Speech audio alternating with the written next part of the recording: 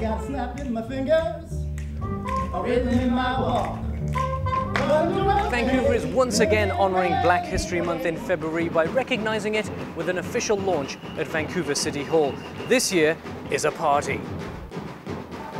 We're, we're happy to celebrate that. We packed the place, uh, council chambers, music, dance, stories, poetry, uh, acknowledging the great history of uh, African Canadians.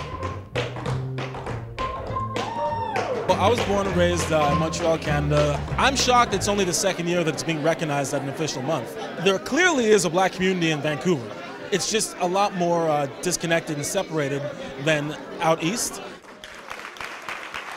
What we need is organization.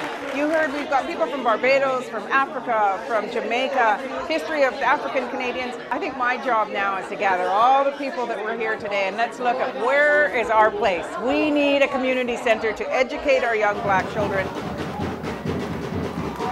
The Lower Mainland currently houses a handful of cultural centres, the Chinese, the Greek, the Italian to name a few.